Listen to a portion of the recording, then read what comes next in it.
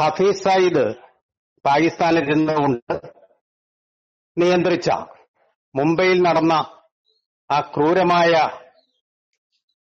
കൊലപാതക പരമ്പരയുണ്ടല്ലോ. അവിടുന്ന് കുറെ പേര് കപ്പലിലും പിന്നെ അത് കഴിഞ്ഞിട്ട്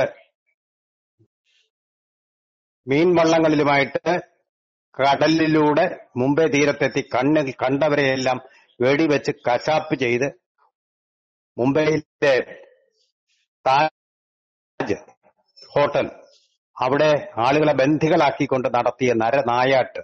അതുപോലെ ഒരു നരനായാട്ടായിരുന്നു. കൃത്യം ഒരു വർഷം മുമ്പ് ഇസ്രായേലിന് നേരെ ഹമാസ് നടത്തിയത്.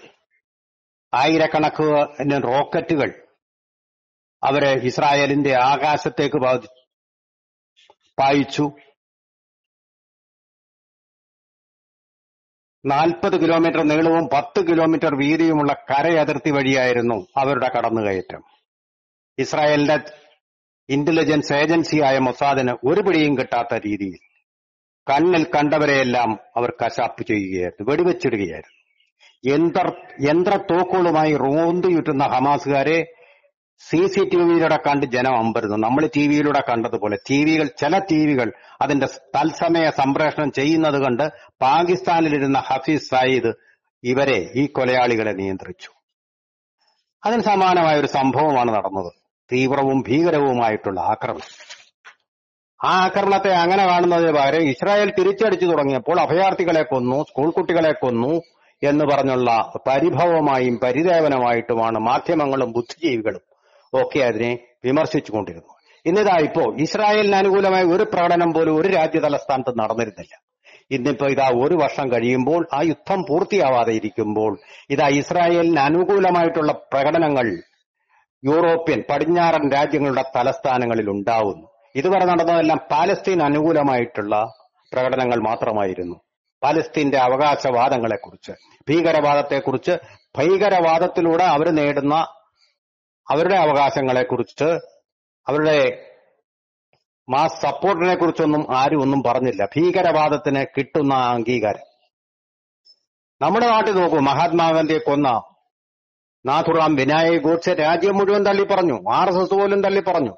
ആർ എസ് എസ് അതിന്റെ പേര് ചേർത്ത് തങ്ങളെ പറയുമ്പോൾ സുപ്രീം കോടതിയിൽ കേസ് കൊടുക്കുന്നു. ആ കേ അങ്ങനെ പറഞ്ഞവർക്കെതിരെ കേസുണ്ടാവുന്നു. അതാണ് ഇവിടുത്തെ ഇവിടുത്തെ സ്ഥിതി. പൊതുവെ ഇന്ത്യൻ സമൂഹത്തിന്റെ സ്ഥിതി. പക്ഷെ അങ്ങനെയല്ല. ഈ കൊലപാതകം ചെയ്യുന്നവരെ ഉസാമ ബിൻ ലാദനെ പോലെ കൂട്ട കശാപ്പ് നടത്തുന്നവരെ എല്ലാം ആരോധി ആരാധിക്കുന്ന അപകടകരമായ ഒരു മനോഭാവമുണ്ട്. അവരെ ഹീറോകളായിട്ട് ചിത്രീകരിക്കുന്ന ചിലരുണ്ട്. ചില മാധ്യമങ്ങളുണ്ട് ചില ബുദ്ധിജീവികളുണ്ട്. അവിടൊക്കെയാണ് ഏറ്റവും വലിയ തകരാറുണ്ടാവുന്നത്. അതാണ് ലോകം നേരിടുന്ന ഏറ്റവും ഭീകരമായ ഭീകരവാദത്തിന്റെ കഞ്ഞി വീഴ്ത്തൽ എന്ന് പറഞ്ഞാൽ ഭീകരവാദികൾക്ക് കഞ്ഞി വെച്ചു കൊടുക്കൽ. അത് നിരന്തരം നടക്കുന്നെങ്കിലും ഇപ്പോൾ ഇതിനെതിരെയും പ്രതിരോധം വന്നിരിക്കുന്നു. ഇസ്രായേലിന് അനുകൂലമായിട്ടുള്ള പ്രകടനങ്ങളും ഇപ്പോൾ അരങ്ങേറി തുടങ്ങിയത് എന്നാണ് പുതിയ വാർത്തകൾ. ഇവിടെ ഇപ്പൊ എന്തെങ്കിലും സംഭവിക്കും ഇറാന് നേരെ എന്നാണ് നമ്മൾ സംശയിച്ചത്. പക്ഷെ ഒന്നുമില്ല. ഇസ്രായേൽ അവരുടെ പ്രതിരോധത്തിന് വേണ്ടിയിട്ട് ഹമാസിന്റെ കേന്ദ്രമായിട്ടുള്ള ഗാസയിലേക്ക് കടന്നു കയറി അവിടെ സുരക്ഷ ശക്തമാക്കി വെച്ചിരിക്കുകയാണ്. പട്ടാളക്കാർ അവിടെ കാവൽ നിൽക്കുകയാണ്. ഈ അതിസാഹസങ്ങൾ അതിന്റെ അതുമൂലമാണല്ലോ അത് മൂലമാണല്ലോ ഈ യുദ്ധം. ഇത്രയും പേരെ നരകത്തിലാഴ്ത്തിയത്. ആ അത് വീണ്ടും ആവർത്തിക്കാതിരിക്കാനുള്ള കരുതലുകൾ മാത്രമാണ് അവർ നടത്തിക്കൊണ്ടിരിക്കുന്നത്. അതുപോലെ തന്നെ ഹസ്ബുള്ളയുടെ വകയായിട്ട് വീണ്ടും റോക്കറ്റുകൾ ഇസ്രായേലിലേക്ക് പതിച്ചിട്ടുണ്ട്. പക്ഷെ ബെയ്റൂട്ടിൽ കൂടി കരയുദ്ധത്തിൽ ഇസ്രായേൽ മുന്നോ മുന്നേറിക്കൊണ്ടും ഇരിക്കുന്ന കാഴ്ചകളാണ് നമ്മൾ ഇപ്പോൾ കണ്ടുകൊണ്ടിരിക്കുന്നത്. ഹെയ് ഹൂത്തികളുടെ ഭാഗത്തു നിന്ന് യാതൊരു വിധമായിട്ടുള്ള ആക്രമണവും പിന്നെ ഉണ്ടായിട്ടില്ല. അമേരിക്കയും ബ്രിട്ടനും കൂടി ചേർന്ന് അവരുടെ കാര്യത്തിൽ ഒരു തീരുമാനമായിട്ടുണ്ട്. ഇറാനും ഇനി അനങ്ങുകയില്ലെന്ന് തന്നെയാണ് നമ്മൾ വിചാരിക്കുന്നത്. ഇറാന്റെ നേരെയുള്ള മിസൈലുകൾ ആണവ നിലയങ്ങൾക്കും പട്ടാള കേന്ദ്രങ്ങൾക്കും നേരെയുള്ള മിസൈലുകൾ വളരെ സൂക്ഷ്മതയോടുകൂടി വിന്യസിച്ചിട്ടുണ്ട് ഇസ്രായേൽ. ഇതൊക്കെയാണെങ്കിലും ജെറുസലേമിൽ നിന്നുള്ള യുദ്ധകാര്യ വിദഗ്ധയായിട്ടുള്ള ഇസബൽ പറയുന്നത് ഇസൽ ഇസബൽ ജേറും എന്നാണ് അവരുടെ പേര്. അവർ പറയുന്നത് ഈ യുദ്ധത്തിന്റെ സ്ഥിതി കണ്ടാൽ ഇത് ഉടനെയെങ്കിലും തീരുന്ന ലക്ഷണമില്ല. ഇതൊരു മൂന്ന് വർഷം നീണ്ടേക്കും. കാരണം അതിശക്തമായിട്ടുള്ള ഹെസ്ബള്ളയോടാണ് ഇപ്പൊ ഇസ്രായേൽ ഏറ്റുമുട്ടിക്കൊണ്ടിരിക്കുന്നത്. അതിനോടൊപ്പം ഹൂത്തികളുടെ ഭീഷണി എന്നുണ്ട് അവസാനിച്ച മട്ടാണ്. പക്ഷെ ഇറാനിൽ നിന്നുള്ള ഭീഷണിയുണ്ട്. ഗാസയിൽ ഇപ്പോഴും ഭീകരന്മാർ തമ്പടിച്ചിരിക്കുന്നുണ്ട്.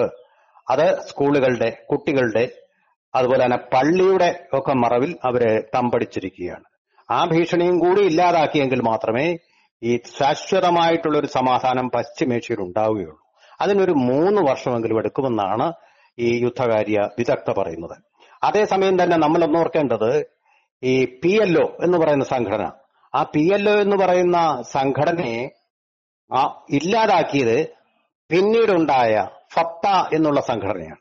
ആ ഫത്ത എന്നുള്ള സംഘടനയെ കൊലപാതകത്തിലൂടെ തന്നെ ഇല്ലാതാക്കിയത് ആണ് ഈ ഹമാസ്.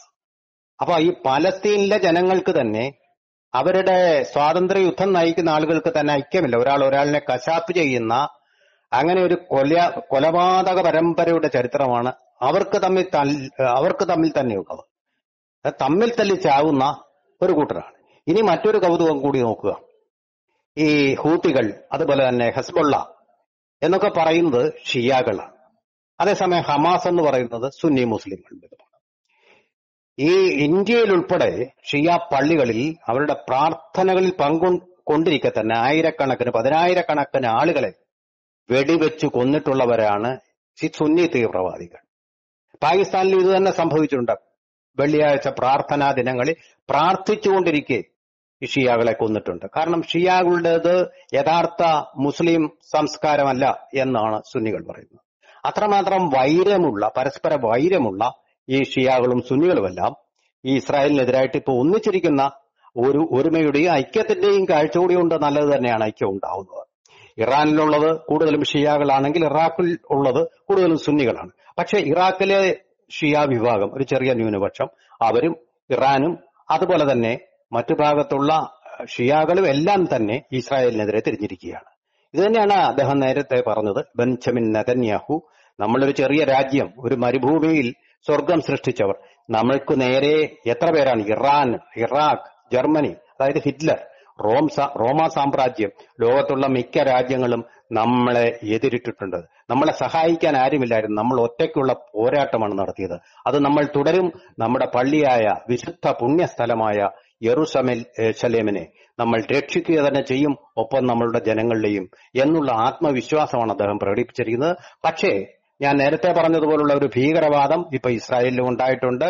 ഒരാൾ ഒരു ഭീകരവാദി അവിടെ കടന്ന് രണ്ടുപേരെ ഇതിനോടകം നിഷ്കരുണം വധിക്കുകയുണ്ടായി. ഈ ഈ ഇന്നലെ തന്നെ ഇന്നലെ തന്നെ അങ്ങനെ ഒരു ഭീകരാക്രമണം നേരിടേണ്ടി വന്നിട്ടുണ്ട് ഇസ്രായേലിന്.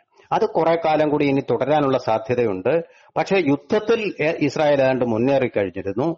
ആ വിജയം ഇനി അത് ഇല്ലാതാക്കാൻ പറ്റാത്ത രീതിയിലുള്ള വിജയം. പക്ഷെ ഇതുപോലെ വളരെ മുമ്പ് തന്നെ സൂചിപ്പിച്ചിട്ടുള്ളത് പോലെ ആ യുദ്ധത്തിന്റെ തോൽവി ഭീകരാക്രമണങ്ങളിലൂടെ തന്നെ തിരിച്ചടിയായിട്ട് വരും. അതായത് ചുറ്റുമുള്ള ഇസ്രായേൽ ഈജിപ്റ്റ് സിറിയ തുടങ്ങിയ രാജ്യങ്ങളും അതുപോലെ തന്നെ അറബ് രാജ്യങ്ങളും എല്ലാം കൂടെ ചേർന്ന് വളഞ്ഞിട്ട് ആക്രമിച്ചിട്ടും ഒറ്റയ്ക്ക് നിന്ന് പൊരുതി ജയിച്ച രാജ്യമാണ് ഇസ്രയേൽ. അതിനെതിരെയുള്ള ഭീകരാക്രമണമാണ് ഏറ്റവും ഒടുവിൽ ഇപ്പോൾ ഏറ്റവും ഒടുവിൽ ഹമാസ് നടത്തിയത്.